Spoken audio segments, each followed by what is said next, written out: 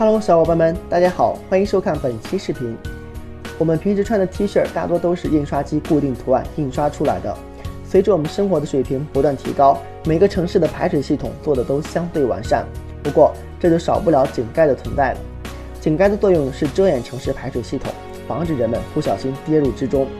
井盖也以便于城市排水系统的修缮工作。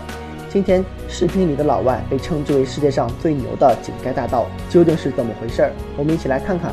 原来所谓的井盖大盗，并不是真正的偷盗井盖。这个老外真的是非常的有创意，他把我们平时穿的 T 恤放在井盖上，印刷井盖上的图案到 T 恤上，然后出售给年轻人。这种创意源于一家著名的设计公司，T 恤上印刷井盖的图案。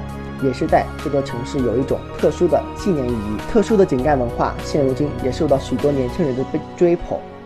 这个著名的设计公司也因此获得巨大利润。看来想发家致富，还真的是需要创意啊！小伙伴们看到这里，是不是也想来一件这样的 T 恤呢？